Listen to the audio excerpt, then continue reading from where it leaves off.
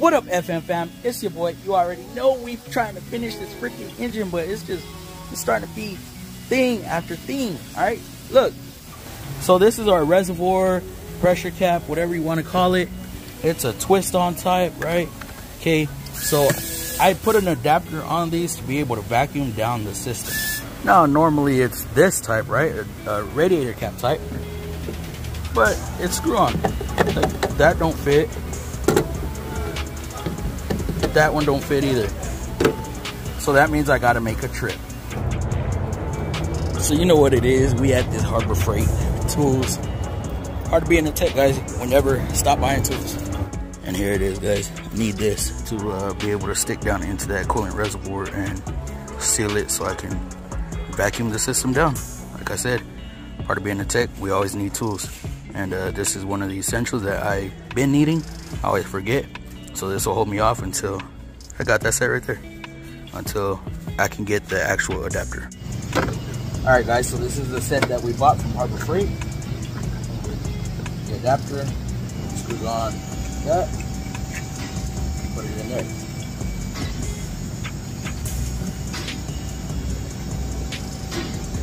Adjust it to where you can get a seal.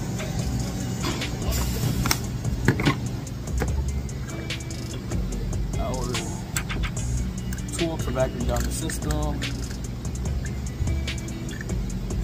On there. And the air hose. and start vacuuming.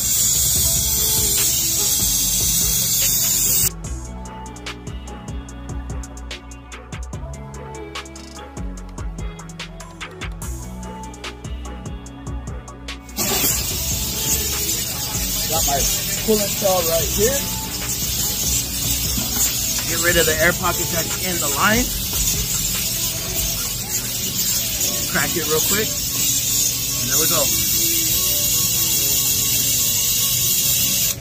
So now, close off the air, let it sit for a minute, make sure it's holding vacuum. Disconnect that.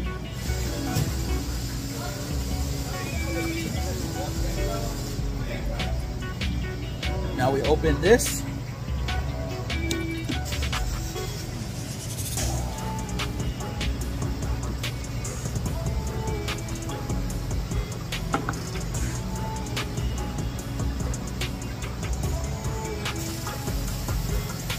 Now we open this valve and let the vacuum take over.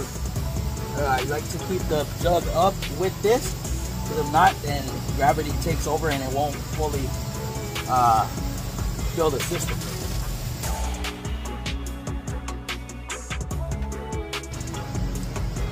Now this little set cost me $60 at the Harbor Freight. Not money I wanted to spend, but it is what it is.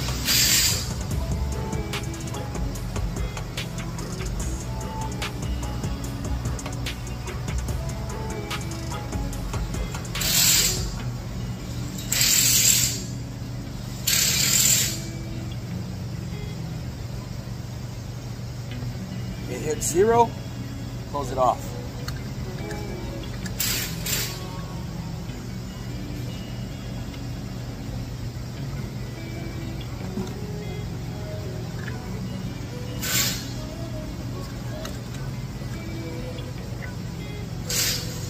And put your tool away.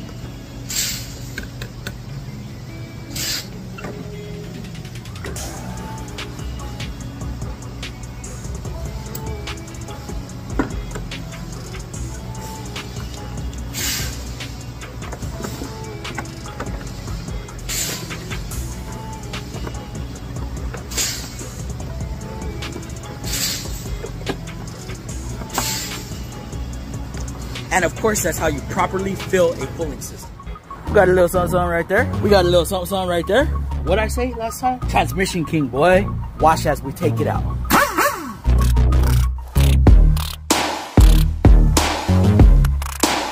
Let's drop it, boy.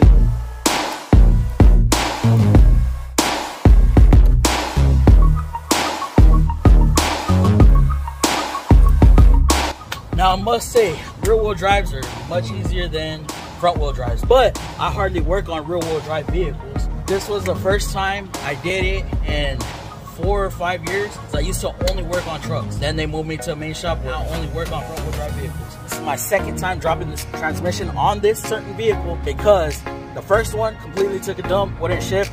This one wasn't machine correct. So you see on this new transmission, the crank sensor fits right there and it's machined. On the first transmission I put in, it's not machined. So because of crank sensor code, I had to replace it again. Ready. Are y'all ready?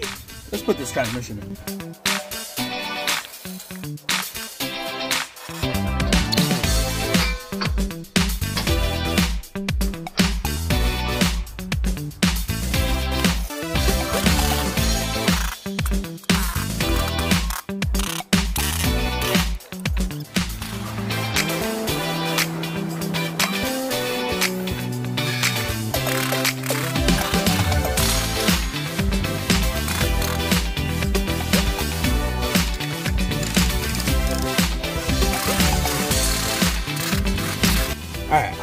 This uh, transmission right here.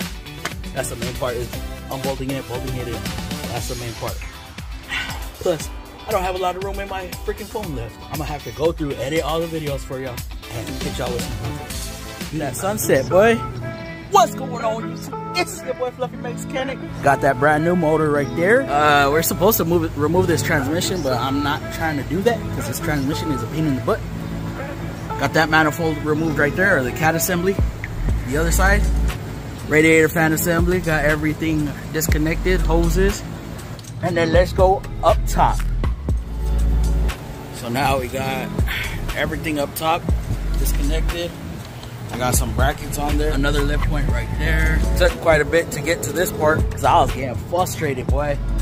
See that bracket over there? I fucking threw it that one ain't gonna fucking work on this car. They said to use the brackets that come with it. I tried it. I was hitting firewall, whatever. But anyways, to all the new subscribers, thank y'all. We hit 7K. We're pushing 8 tonight. So maybe I may wake up to 8,000 subscribers. Just a few days ago, I was at 4K. I thank y'all. Appreciate it. Hey, check it out. Um, so, uh, y'all don't got me on snap. But I got my car towed here. The Cobalt. Y'all remember that? I made a couple of shorts about it. There it is right there. Right there, right in the mix, right in the mix. South Bend clutch. South Bend stage three clutch. Yes, it did get a little hot, but look at how small this metal is. Look at, look at the thin. Look at how thin that is. Bro, the rivets are what gave. Look at that. Bro, come on. You're stating your clutch could handle 300 or 400 horsepower. Why is it not working on a about 250, 260 horsepower car? 10,000 miles? Come on now. Anyways, yeah, the clutch is already in. I'm about to put the subframe up, so this is where we're at. Don't mind this. That's like JB Weld because I ran over a double cardan joint from a semi truck and just did some numbers, see that? So subscribe, like, comment, and there's a whole video coming out on this. This is